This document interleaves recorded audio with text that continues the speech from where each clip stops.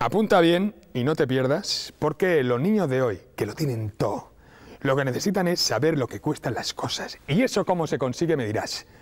Construyendo una máquina del tiempo que les lleva a la época más dura de la historia. ¿El medievo? No, los 80.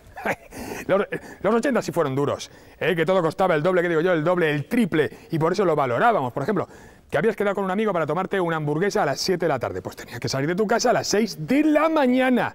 ¿Por qué? Porque la única forma de llegar era coger tu bici motoreta forjada con hierro de Mordor, con acero valirio, que pesaba 500 kilos, tenía una sola marcha y llegabas allí con los gemelos que parecías perico delgado.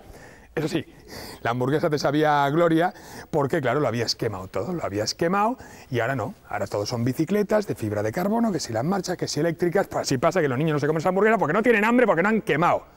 Por no hablar del amor, que los 80, pues si te gustaba una chica, tenías que demostrárselo. ¿Cómo? copiando a mano la antología completa de los versos de Neruda, uno a uno, uno a uno, dale que te pego, con la libreta.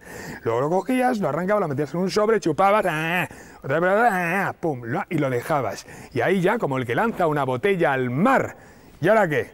¿Ahora qué? A los chicos de hoy en día les gusta la chica que un emoticono. ¿Tú te crees? ¿Tú te crees que es un emoticono?